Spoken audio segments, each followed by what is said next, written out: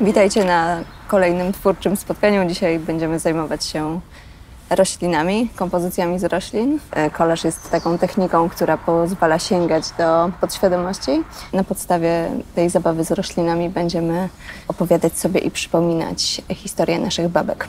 W taki sposób trafimy do wątku e, naszej kobiecości, jej połączenia z czasami dwudziestolecia międzywojennego.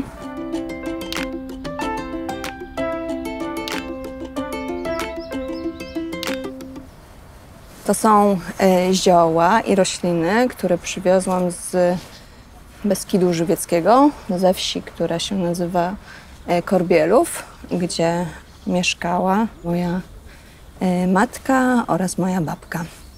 Tutaj em, mamy trawę taką najbardziej, n- taką, którą będziemy używać do kompo- komponowania, a elementy roślinne, które tutaj widzicie, mogą służyć do tego, żebyście przez chwileczkę postarały się sobie przypomnieć, czy pamiętacie takie zapachy z swojego dzieciństwa.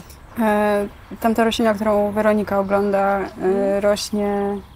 Kojarzę ją z, e, ze wsi, e, gdzie, gdzie moja prababka To mieszkała. bardzo, bardzo, bardzo ważna roślina, bardzo często się pojawia w kuchni.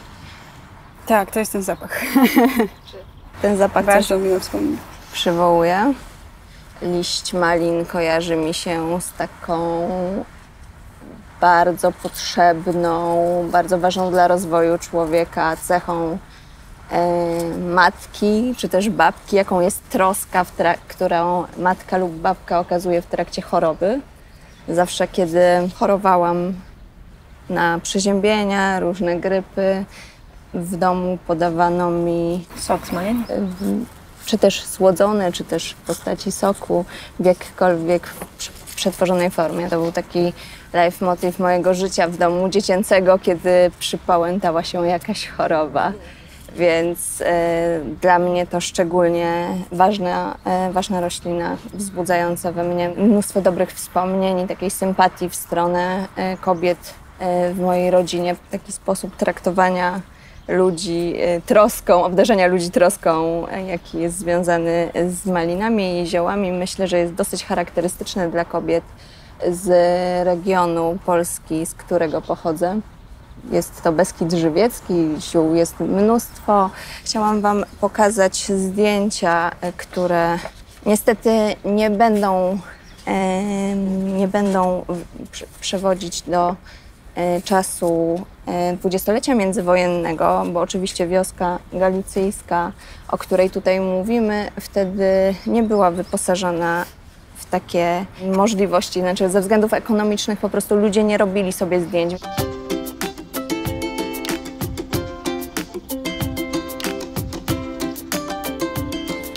Przed Wami e, praca, która polega na tym, żeby z roślin i zdjęć oraz papierów innych e, ułożyć kompozycję.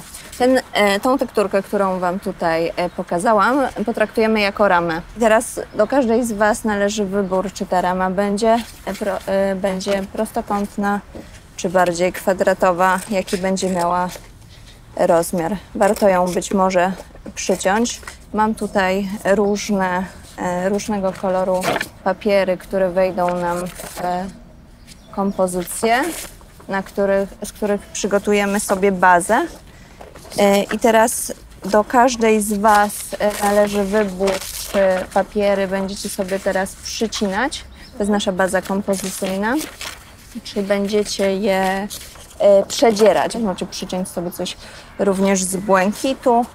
Dla e, pasjonatów mam również czerwień oraz ultramarynę. Ja wybieram to zdjęcie. Na tym zdjęciu będę pracować. I dostawiam tutaj w tej części zdjęcie. Może tak będzie nawet lepiej. Będą delikatnie na siebie zachodzić. Korzystamy z kleju, który Na razie ma białą barwę, ale jest specjalistycznym klejem używanym do kolaży. Kiedy wyschnie, nie będzie po nim śladów. Mhm.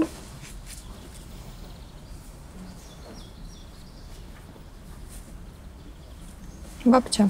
Babcia. Nie mam żadnego zdjęcia prawie. W ogóle nie ma takich zdjęć. To jednak chłopska rodzina. Więc fotografia przy bardzo szczególnych okazjach. Poza tym rodzina e, w wysiedlonej w trakcie wojny wsi. Więc tych pamiątek rodzinnych de facto w ogóle, ale to w ogóle nie ma.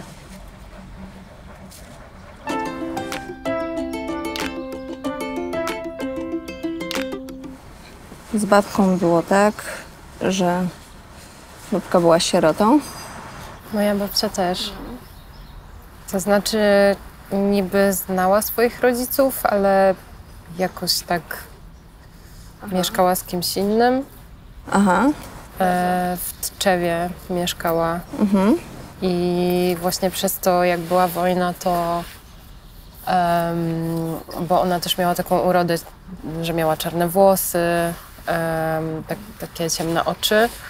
I mm, właśnie w czasie wojny, przez to, że nie było znane jej pochodzenie do końca, no to było takie podejrzenie, że może jest Żydówką, ale miała takiego super nauczyciela. E, zresztą e, on był Niemcem, uczył niemieckiego e, i właśnie tak jakby trochę ją obronił, w sensie powiedział, że ją zna, że na pewno ona jest stąd, że Stało się z nią. tak. U mnie jest taka opowieść związana z babką, która mówi, że babka została wydana za dziadka. Wydana to jest to słowo. Dziadek był od niej e, 8 lat starszy, ale w opowieściach rodzinnych jest tak, jakby był nie wiadomo, jakoś bardzo dużo starszy. Jakby to miało dużo większą różnicę, nieprawdopodobnie większą różnicę. Jako 16-latka została żoną Jana, któremu... Moja babcia też. Tak, I też miała męża tak. To ciekawe, słuchajcie, jak ta historia się dalej potoczy, bo babka e, Franciszka e, całe życie, e, znaczy jest przekaz ustny mówi, że była bardzo, bardzo gospodarną kobietą, że pomimo tego, że miała dziewiątkę dzieci, to u nich w domu to był taki dosyć wyjątkowy dom, w którym no, głodu nigdy nie było. Wątek dwudziestolecia międzywojennego w tej części galicyjskiej e, Żywiecczyzny to jest wątek, który dla mnie zbiega się właśnie z niemalże z narodzinami e, mojej babki Franciszki, bo ona się e, całą, całe swoje dzieciństwo e, spędza e, we wsi, która zbroi się i przygotowywuje do wojny, tak jak cała reszta przecież Polski.